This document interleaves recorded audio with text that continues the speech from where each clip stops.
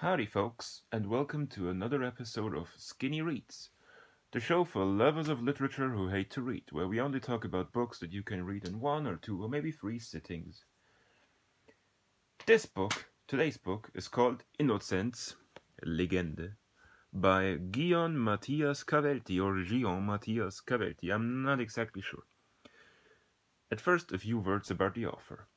The author is born in the 70s in Switzerland. That's why I'm also not sure about the pronunciation of his name, as there are lots of French people, French speaking people, and French names in Switzerland. Um, he already published quite a few books, some mostly in shorter form, novellas and shorter prose works, even in Germany's renowned publishing house Suhrkamp. But this one, his newest one, published in 2020, is released, uh, published by Lector Books, which is a Swiss publishing house. Um, at first, before I tell you a few things about the plot, let's look at the cover. What we see is a nun holding a book with eyes. The nun doesn't have eyes. She was blinded. But she has a halo. Why do I focus on the cover? It's important plot-wise, and as you can see here, it's done by Adrian Oxner after an idea by the author himself. So, the author took part in the creation of this book cover. Anyway, what is the book about in the plot sense? It's about an inquisitor in medieval times called Innozenz, which translates to the innocent one, I would say. It's not so hard to translate this one. Actually, anyway, Innozenz is an inquisitor. The Pope calls him. Innozenz goes to the Pope. The Pope tells him in Schwamendingen, which is a village in Switzerland, quite close to Zurich nowadays. I think nowadays it's even part of Zurich. Um, in Schwamendingen, there is a weird sect that has the skull of the first human being ever, which might be Adam, but I'm not sure. and it's also not explicitly mentioned in this text. Anyway, they got the skull. Dear Innozenz, can you go there and stop them from doing their weird rituals and so on? Innozenz says yes. But he has a rope, and in this rope he finds a book. The book went into the rope by itself. The book is pure white, doesn't have anything written in it, and the book can communicate with Innozenz, and this book is also the narrator of the book to us. So, and the book also approaches us and speaks to us as the reader. The book knows that it's telling the story to us. So, quite for literary analysis, quite an interesting disposition. We have a book that's narrating a story to us as we read a book. Might it be that later on it turns out that we read the book that is telling the story? Woohoo, maybe. Anyway, the book and Innozenz go to Schwamendingen. There, lots of weird things happen. They, they meet a wide array of weird characters. They meet weird astrologists who come there because there's a an evil astrological um, constellation on the night sky called uh, a star called Caput Algol, Algol emitting evil energy.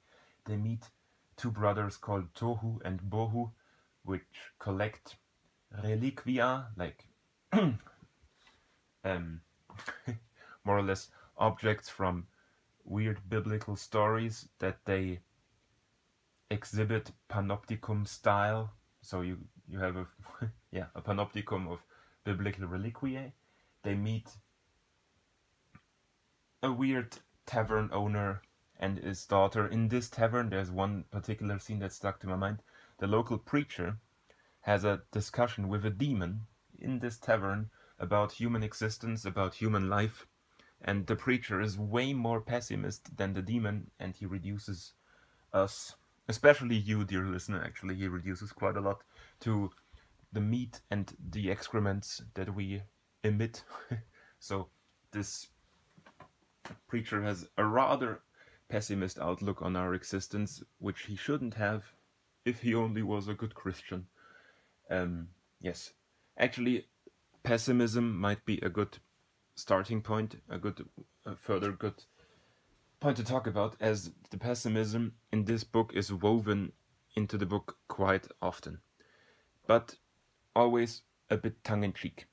I think this author he doesn't want to bring you down he doesn't want to show you that life is meaningless and you should never reproduce or anything it's more he it feels like especially towards the end when there's a bit of destruction going on um, that the author approaches pessimism in this book as a thought experiment that he sets himself into the pessimist mindset and then continues to look at the world at, at and at his novel through this pessimist lens and sees where it will lead him.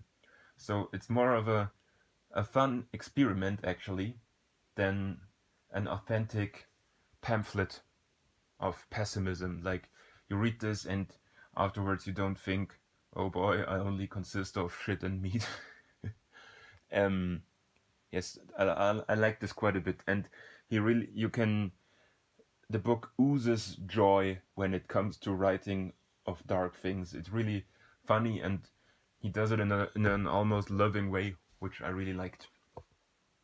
One more thing about the book that might be worth mentioning is it has lots of chapters and they're all really, really short, as you can see.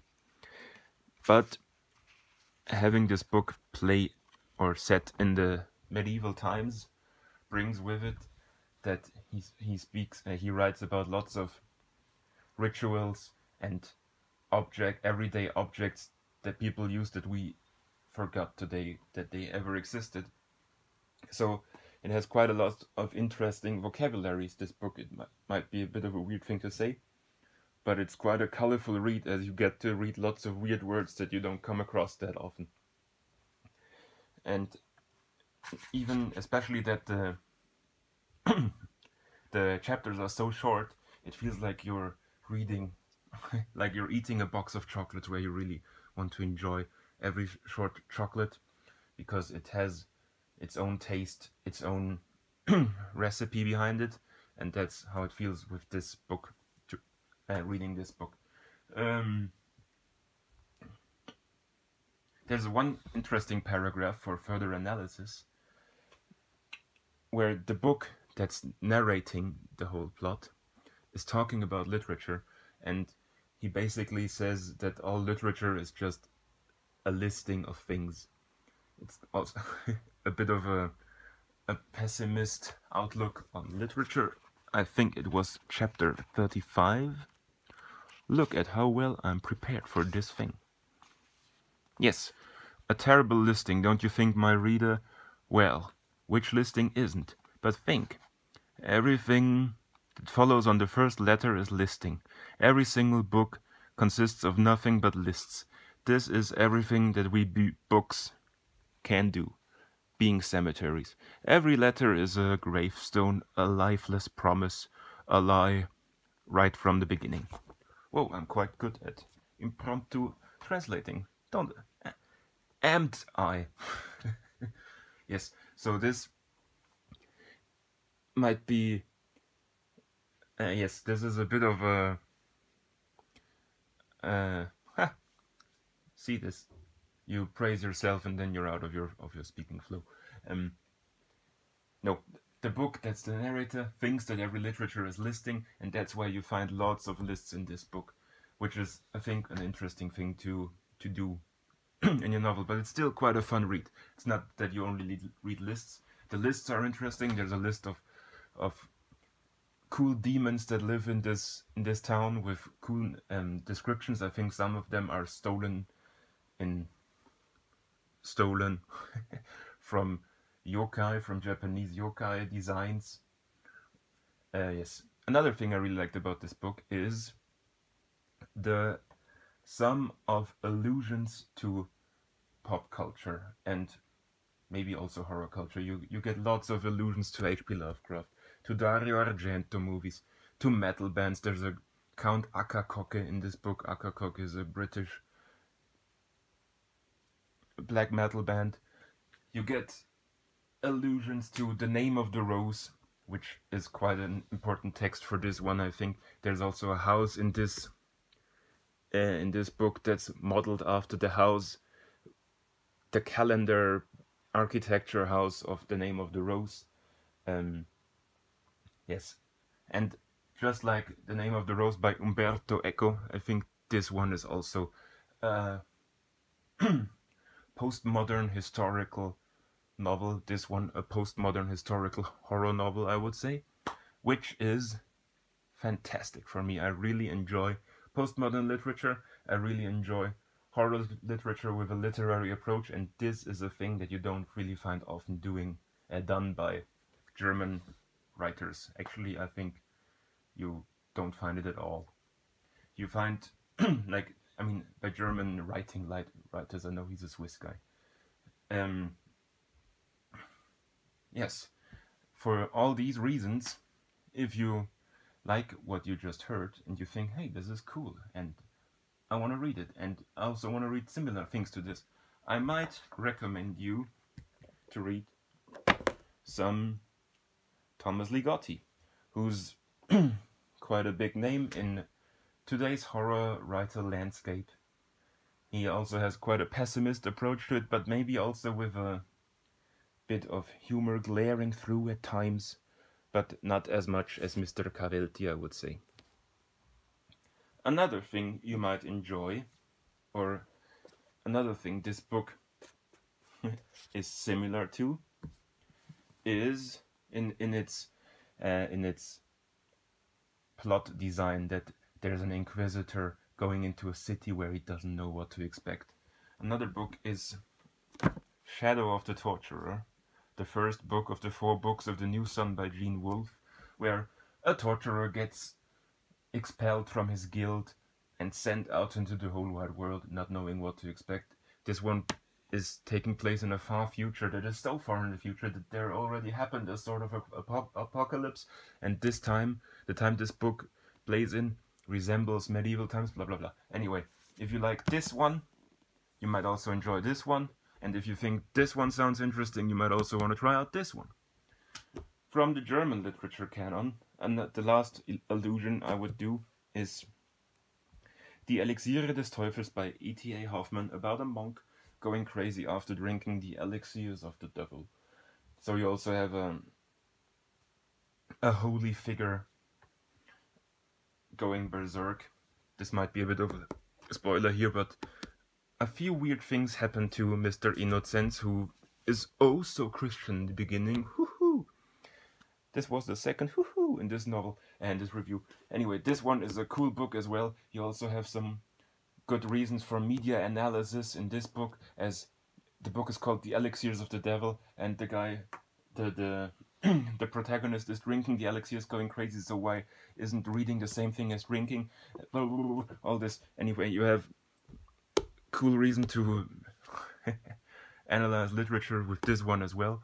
Now, a bit of a sad reveal for some of you folks, for some of you seven viewers of this video. And this book so far is only available in German by the cool publishing house Lector Books. But if you're an English-speaking publisher thinking, hey, this book sounds cool, I wonder if it might be successful in English-speaking English-speaking countries as well, I think it would be there are lots of horror fans liking Ligotti or Gary J. Shipley and the Horror Writers Association and the Bram Stoker Award group. They often give out um, awards to books similar as this one. Maybe not books that, that play in the medieval times, but anyway, I think this is a a good book for an English readership as well. So pardon my my ramblings. This was my one of my first reviews. Actually, it was the first review, but I didn't want to to publish this as the first review. Anyway, um, thank you. Gion Mathias Cavelty Innozenz. I really liked it for the reasons I said. For the analysis you can do with it. Anyway, keep rocking and do do do do do do do